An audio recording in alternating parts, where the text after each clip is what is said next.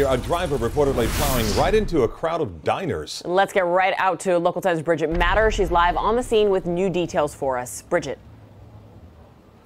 Police, they told us how this all happened in the last 20 minutes. They say that driver was speeding, attempting to make a U-turn and overcorrected, causing this crash. If we zoom in, you'll see the destruction there on that table. That's where several people were having dinner. We know that four people were taken to the hospital. One is critical, and one of those people taken to the hospital is the driver. This is video of the scene from earlier, that car resting on a tree near tables where people were having dinner. This all happening in downtown Hollywood. Police do say four people were taken to the hospital from this, and this is cell phone video from a witness who says this is the driver of that car sitting in a chair. It's unknown at this point why she went off the road and crashed. We spoke to a man who was having dinner and had to pull his girlfriend out of the way when the car came barreling down the sidewalk.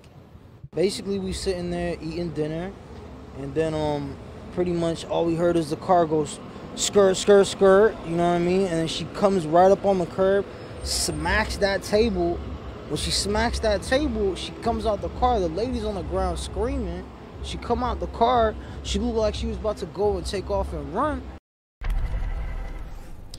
Now, while no one was killed in this crash, traffic homicide is investigating because this is a serious crash that happened.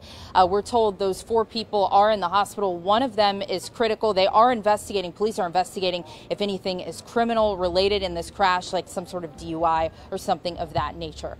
For now, we're live in downtown Hollywood. Bridget Matter, Local 10 News. Bridget, thank you.